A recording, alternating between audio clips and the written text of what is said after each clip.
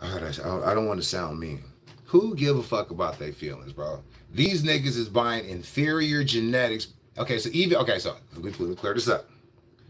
They are purchasing inferior genetics of the same name because they do not have the traceability or trackability or give the transparency about the genetics that they have that they're using in their current cross cycle.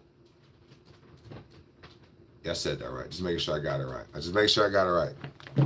So even though you go to the club and you get a, a, a gelato, that's a watered down gelato because you don't know what that mother plant came from from that gelato. And that gelato, you don't know who the fuck that breeder was. So you don't know what terpene profile is actually existing in that, to which you can be able to showcase and show to your clientele base, like, hey man, Batman, you know what I'm saying? Like shit like that. Nothing for sale, bitch. I'm smoking it, nigga. This, that, hey, this is not for sale. I'm smoking this. I'm consuming it, bitch. Most niggas smoke a blunt. I try to smoke pounds, not a pound, pounds, plural, bitch. Plural. Sometimes I smoke great weed.